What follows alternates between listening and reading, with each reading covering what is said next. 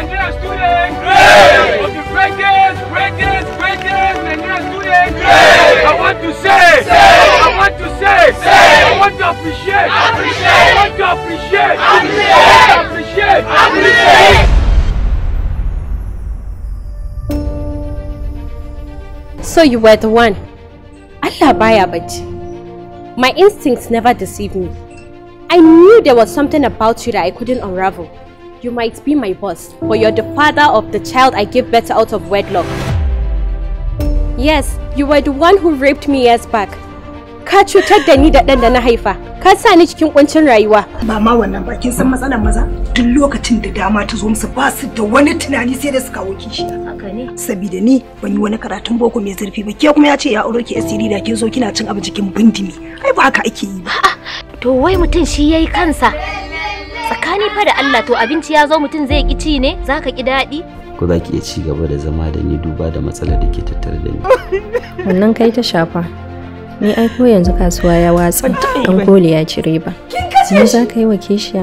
Ina? To wallahi da kamun kishiya gwara a fasa kowa ma ya rasa. Sai na tayar muku da hankali na sa ku a cikin bakin cikin da har abada ba sa ku manta da ni because dan Allah ka raba ni da I am now a wounded lion asirin yana shirin tono. Kawai sawa zan a kashe shi. Wallahi idan maganar nan ta fita wallahi sai ki tunanin ni ba dan uwanki ba ne ba mu taba hada wani komai da ke ba saboda abin da zan miki zaki mamaki. Yawwa yan uwana dan Allah ba haka ba ne abin da nake faɗa? Babana shine mai adalci wanda ya riga bana ki zo ki ci mun fuska?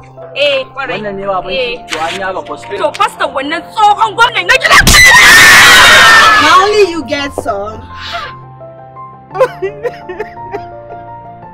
saurara ki ji makwabciyarsu ce ni duk abin da aka yi akan ido na aka yi saboda haka sai kin sa kwalli a idon ki kin tata musu rashin mutunci kin zama yar iska From today, your name is Zara and no more Auntie Zara.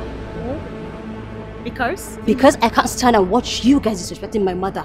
And what gives you the right to talk to my mother or maybe disrespect my mother? What gives you that right? Ina ɗauke da ciki. wa cice wannan jalal cikin wa ta ce farida lafiya Kamar ya cikin wa? Ina matsayin matar ka in ce maka ina da ciki ka tsaya kana tambaya na cikin wa me kake nufi? to ai gani ne yaushe aka yi daren da har gari zai waye To ka manta cewar kuma dare ɗaya Allah kan yi bature? kar ki sake ciwo matar babana banza banza ce mana jakayar matsiya ta goldi ba amma ke har yanzu ba gidajiya ce kar yanzu ni ce ba gidajiya ai alhaji sai da na ce maka ka tafi da ni. Kaga at least da na yi solving wannan me problem zaki solving? A hakan zaki solving? Ci ya miki yawa kallaki. Umma, me ya faru ke kaɗai kike ta tsalle haka? yaran nan ku bar ni. Babanku ne. Wai shi na yi ƙiba. Wai kishiya wai zai ƙaro a wuri. zan yi acting din analog momo! Sani danja adada zango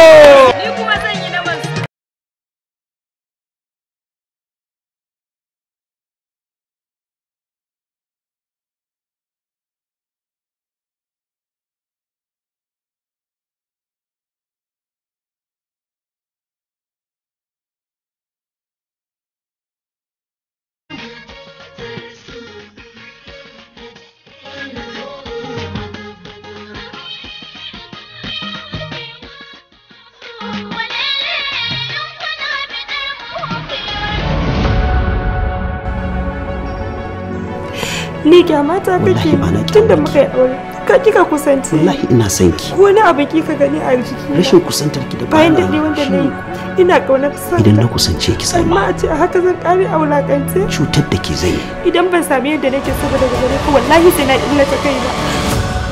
Zan ganar da ki idan har kin mun alkawarin ɓoye min sirrina. Na yi alƙawari. Faɗa min in ji ka. Ina ɗauke ne da ƙwayoyin cutar nan masu kare garkuwar jiki wato hiv